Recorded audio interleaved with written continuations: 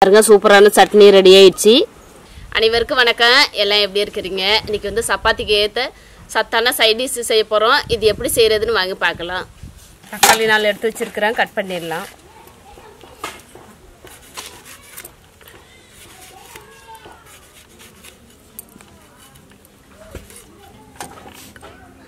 இப்போ இந்த சட்னிக்கு தேவையான பொருள் பார்க்கலாம்.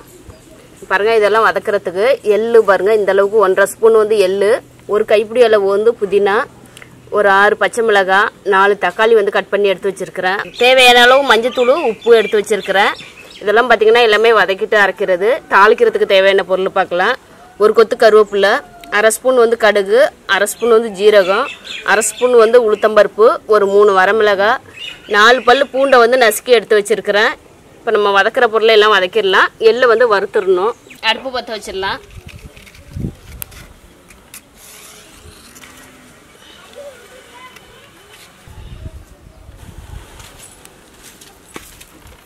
சட்டியை அடுப்பில் வச்சிடலாம் சட்டி நல்லா சூடாகட்டும் எள்ளை வறுத்து எடுத்துக்கலாம்.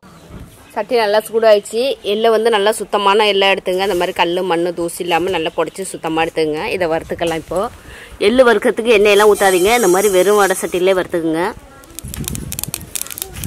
சட்டியை வந்து நல்லா சூடாகணுன்னு அந்த மாதிரி வறுக்கணும். அப்போ தான் உங்களுக்கு நல்லா இந்த மாதிரி பொரியும்.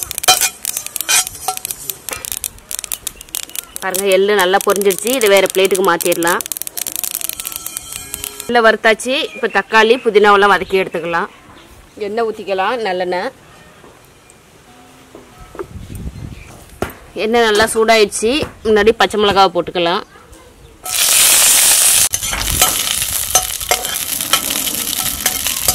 இங்கே பச்சை மிளகா கூடவே வந்து நாலு தக்காளி கட் பண்ணி வச்சுருக்கிறேன். அதையும் சேர்த்துக்கலாம். இது கொஞ்ச நேரம் எண்ணெயில் வதங்கட்டும். கொஞ்ச நேரம் வதங்கட்டும் மூடி வச்சிடலாம் ஓப்பன் பண்ணிடலாம் தக்காளியோட பச்சை வாசனை எல்லாம் போச்சு. இப்போ புதினாவை சேர்த்துக்கலாம். ஒரு கைப்பிடி அளவு புதினா. புதினாவோட பச்சை வாசனை போகிற அளவுக்கு நல்லா வதக்கிக்கலாம். புதினாவோட பச்சை வாசனை போச்சு. உப்பு மஞ்சத்தூள் சேர்த்துக்கலாம்.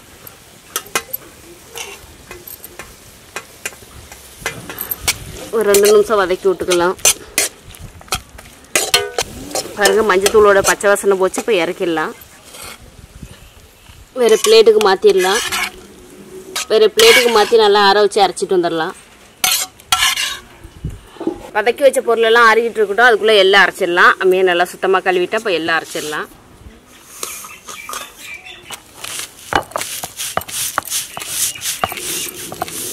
நான் வந்து கருப்பு எள்ளு எடுத்துருக்கிறேன். உங்களுக்கு வெள்ளை எள்ளு இருந்துச்சுன்னா அதை கூட எடுத்துக்கங்க. பாருங்க எள்ளு இந்த அளவுக்கு அரைச்சா போதும். இது கூட வதக்கி வச்சுக்கிற பொருளெல்லாம் சேர்த்து அரைச்சிடலாம். முன்னாடி பச்சை மிளகாய் சேர்த்துக்கலாம்.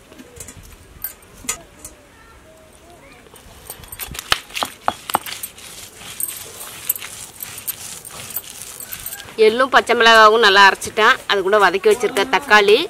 புதினாவும் சேர்த்து அரைச்சிக்கலாம். நீங்கள் மிக்ஸில் அரைக்கிறதுனாலும் அரைச்சிக்கலாம். அப்படி இல்லைன்னா இந்த மாதிரி அம்மிக்கல்லில் கூட நீங்கள் அரைச்சிக்கலாம். அம்மியில் அரைச்சிங்கன்னா தண்ணி சேர்க்காதீங்க. அந்த தக்காளியோட சாரே போதும் நம்மளுக்கு அரைச்சி எடுக்கிறதுக்கு. பாருங்க கொஞ்சம் கொஞ்சமாக அரைச்சிட்டேன். இப்போ வலிச்சிடலாம்.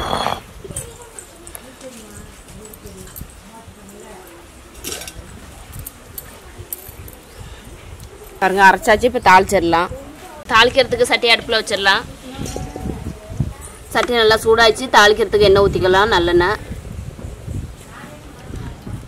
எண்ணெய் நல்லா சூடாயிடுச்சு இப்போ கடுகு சேர்த்துக்கலாம். கடுகு நல்லா பொரிஞ்சிடுச்சு ஜீரகம் உளுத்தம்பருப்பு சேர்த்துக்கலாம்.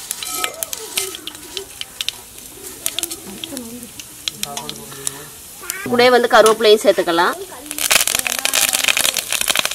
ஒரு மூணு வரமிளகாய்.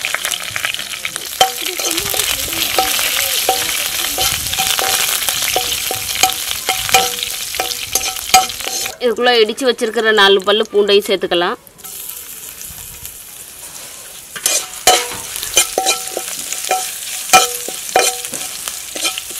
பாருங்க எல்லாம் நல்லா பொரிஞ்சிருச்சு. இப்போ நம்ம அரைச்சி வச்சிருக்கிற சட்னி கூட சேர்த்துக்கலாம்.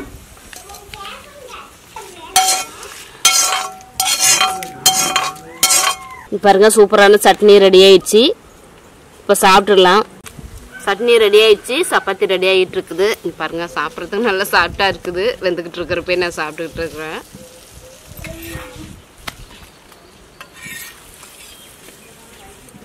பாருங்க சப்பாத்தி ரெடி ஆயிடுச்சு. சட்னி ரெடி ஆயிடுச்சு. இப்போ சாப்பிட்டுடலாம்.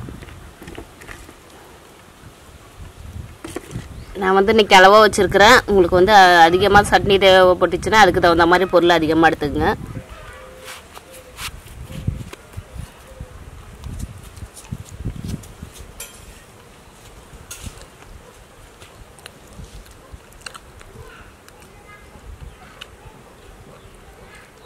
இந்த சப்பாத்திக்கு இந்த சட்னிக்கு வந்து சாப்பிட்றதுக்கு நல்ல ஒரு டேஸ்ட்டாக இருக்குது பெரியவங்கள்லேருந்து குழந்தைங்க வரைக்கும் எல்லாருமே விரும்பி சாப்பிடுவாங்க.